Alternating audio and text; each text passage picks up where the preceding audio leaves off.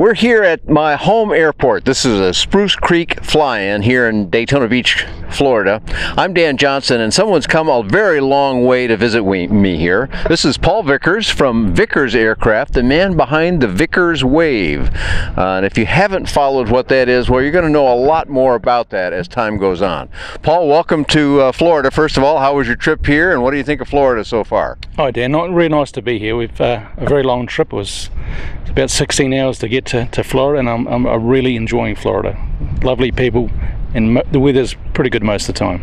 Now you've been a busy guy here, been meeting with a lot of people, that's exciting.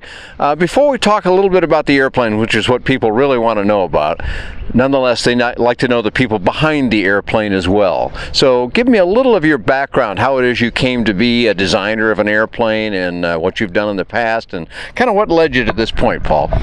Well, my, my background is um, I've been in business a long time and um, I predominantly designed a lot of a lot of boat hulls, a lot of fishing boat hulls, similar to the Bayliner trophy type boat. And I've always been around aviation. My father was one of the first um, people in New Zealand to design and build a microlight with a, with a consortium of people.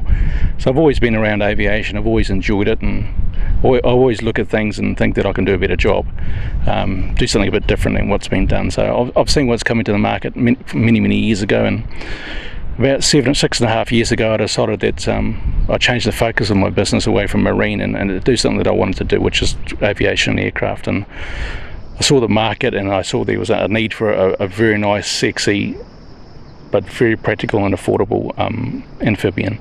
So I went about designing and building something that is very different than what's available or coming to the market. So I didn't want to design and build something that had been done before.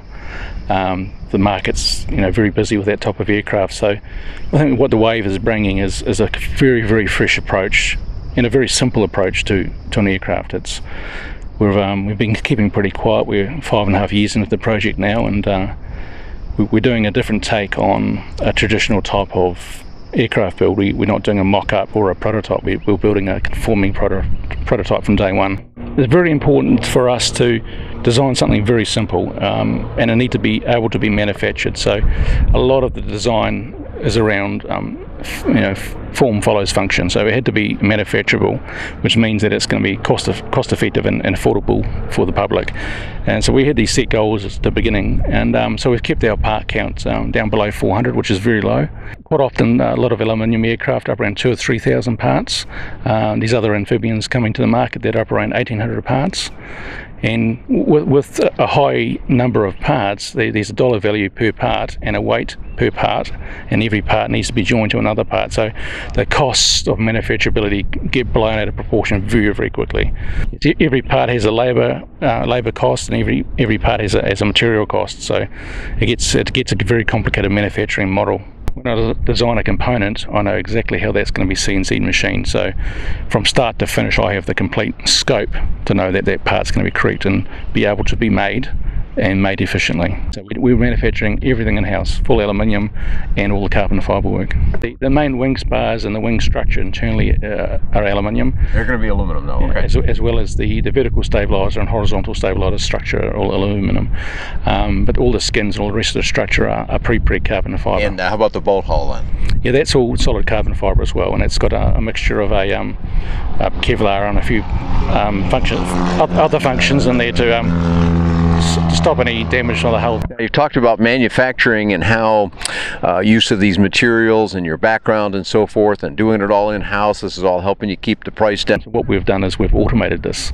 Um, all the mold and the pattern, we've got the molds on the computer and we can flat pattern off the computer the patterns and then CNC cut them on our machine. So it's taking 65% of the labour out of the carbon fibre process and that's how we can keep the cost down. So this business of how this is cut, you have a video that I used on my website as well and people can see just how this how this actually works. The right part every time and it's um it's keeping the labour costs down which is and then keeping the cost of the aircraft down the our, useful load we're aiming for 550 pounds. Okay. Uh, we're very confident with that, and that we're achieving that with the full carbon fibre aircraft.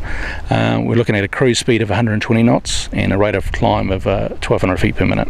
Now, there's a lot of folks that will go 120 knots for an LSA seaplane would be well. First of all, it is maxing out the category fastest you can go, but perhaps more importantly, most of the ones that are on the market can't hit that because seaplanes have some extra stuff they got to shove through the air. How are you shoving it all through the air to get that speed? Well, we- aerodynamically, we've done some pretty neat things to the fuselage, uh, but the main thing is we're running a Titan engine, which will will be over 185 horsepower. So that's the X340 then. That Yes, it is the X340, and we're doing a, um, a few little uh, extras to the engine, which will, I think su- will surprise people with some performance. And we're running a, really nice Catto uh, three-blade ma- maple core carbon um, propeller for um, very very nice performance, which which um, Catto is actually designed for our aircraft. So we're, we're very confident. We've um, we've limited the uh, frontal area, and we're very confident in our figures for, for the cruise. Well, I don't want to tell all our visitors everything, our viewers everything about what you got going on, but there's some interesting stuff with the landing gear. You got a ballistic parachute on board. You have folding wings that will automatically fold. You got a bow thruster to help maneuver in the water. And in fact, I haven't seen too many tricks that you left off this thing, but let's, uh, instead of uh, giving everybody everything, let's tempt them a little bit and tell us where we can go find more about Vickers Wave on the web, Paul.